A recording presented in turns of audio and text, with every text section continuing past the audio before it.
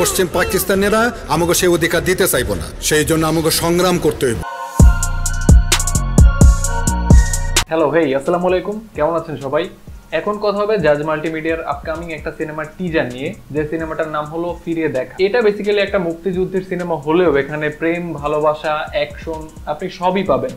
মানে কি নেই এই সিনেমাতে সত্যি বলতে টিজারটা দেখে আমার কাছে বেশ ভালোই লাগল। এবং কেন এত বেশি ভালো লাগল, সেটা আমি এই ভিডিওর শেষে আপনাকে মেনশন করব।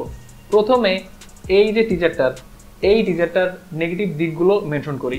প্রথম কথা হলো এটার কালার গ্রেডিং যেহেতু এটা একটা পিরিয়ডিক ড্রামা অথবা পিরিয়ডিক অ্যাকশন ড্রামা তো এই সিনেমায় মুক্তিযুদ্ধের একটা গল্প বলা হবে।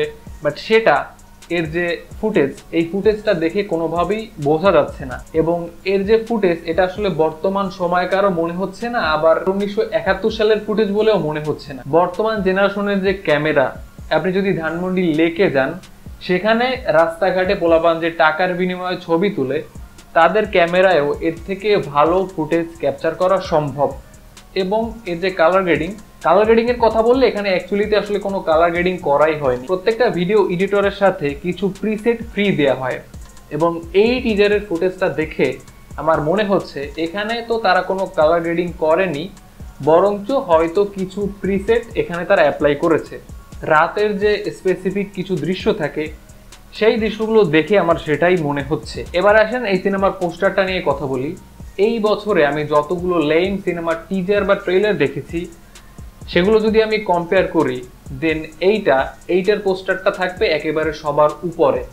কারণ আপনি যদি আপনার বাসার সামনে মোড়ের দোকানে যান, যেখানে পাঁচ মিনিটে পাসপোর্ট সাইজের ছবি ডেলিভারি দেয়া হয়, সেখানে যদি আপনি এই সিনেমার পোস্টারটা ডিজাইন করতে দেন দেন আমি আপনাকে গ্যারান্টি দিয়ে বলতে পারি, এর থেকে রাস্তার মোড়ের দোকানের ওই লোক ভালো পোস্টার ডিজাইন করতে সক্ষম। এই সিনেমাটার জন্য যতগুলো কাস্টিং হায়ার করা হয়েছে, প্রত্যেকটা কাস্টিং এর চেহারা আপনি এই সিনেমার পোস্টারে খুঁজে পাবেন।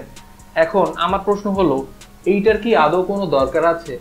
একটা যুদ্ধের সিনেমা, সেখানে একটা বা দুইটা ক্যারেক্টারের চেহারা রিভিল করা যদি হয়, বা আই ক্যাচি কোনো ব্যাপার যদি রিভিল করা হয় দেন সেটাই যথেষ্ট। এখন ব্যাপারটা হয়তো এরকম হয়েছে যে একটা কাস্টিং এর চেহারা রাখা হয়েছে, অন্য আরেকজন কাস্টিং বলল, আমার চেহারা কই? তো এইভাবে যখন ব্যাপারটা ঘুরপাক খায়, তখন ডিজাইনার শেষমেশ সবার চেহারাই আসলে পোস্টারে রাখে। এবং এই ব্যাপারটা যদি আমি বাদও দেই, যেমন সবার চেহারা পোস্টারে থাকবে, এটা কিন্তু এর আগেও অনেক বাংলা সিনেমা আমরা দেখেছি এই ব্যাপারটা বাদেও পুরো ডিজাইনটাই ছিল একেবারে লেই। মুক্তিযুদ্ধ নিয়ে আমাদের দেশে অনেক সিনেমা এর আগে হয়ে গেছে বাট সেখান থেকে যে যে সিনেমা আপনি আলাদা করতে পারবেন, সেই সিনেমাগুলোয় যে ব্যাপারটা এক্সট্রা ছিল, সেটা হলো ইমোশনাল অ্যাটাচমেন্ট সিনেমাটা দেখে ভেতর থেকে সত্যি আপনি একটা দেশপ্রেম ফিল করতে পারতেছেন, বা ওই সিনেমা যে ক্যারেক্টারগুলো ছিল, সেই ক্যারেক্টারগুলোর জন্য আপনার খারাপ লাগতেছে। এই যে টিজারটা দেখলাম এখানে ইমোশনাল কোনো অ্যাটাচমেন্ট তো একেবারেই ছিল না। প্রত্যেকটা ব্যাপার ছিল মেকি। যেহেতু এটা একটা সরকারি অনুদানে নির্মিত সিনেমা, এখানে যে ব্যাপারটা ঘটেছে, সেটা আমি আপনাকে একটা এক্সাম্পল দিয়ে বুঝাই। সাপোজ এই সিনেমার যে প্রডিউসার ধরেন এই সিনেমার প্রডিউসার রাজ। সে আমাকে কিছু টাকা দিল, আমি যাতে করে একটা সিনেমা বানাই।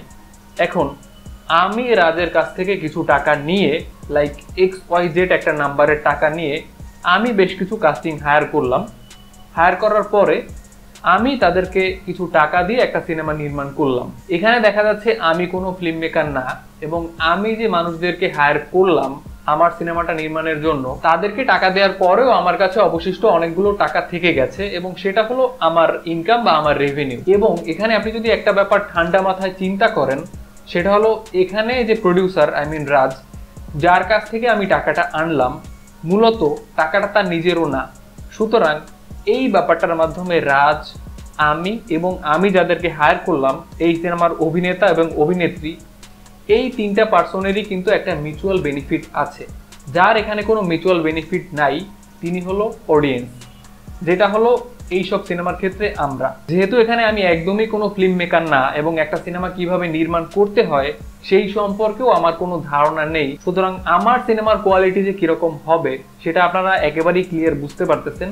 এবং আমি যাদেরকে হায়ার করলাম, তারাও লো ইফোর্টে বেশ কিছু টাকা পেয়ে যাচ্ছে। কারণ আমি একজন পরিচালক হিসেবে তাদেরকে আসলে তেমন কোনো পুশ করতেছি না। আমি বলতেছি না যে এই শটটা আরেকবার নেওয়া হোক। এই ধরনের সিনেমার ক্ষেত্রে প্রত্যেকটা বার এই ব্যাপারটাই ঘটে। এবং এই টিজারটা নিয়ে এই ছিল আমার রিয়েকশন আপনার কাছে টিজারটা কেমন লাগল আপনি চাইলে অবশ্যই আমাকে জানাতে পারেন। যদি আপনি সিনেবসে প্রথমবার হয়ে থাকেন দেন অবশ্যই আমাদের চ্যানেলটি সাবস্ক্রাইব করে দিবেন। আপনার সাথে দেখা হচ্ছে পরে কোনো ভিডিওতে। টিল দেন যারা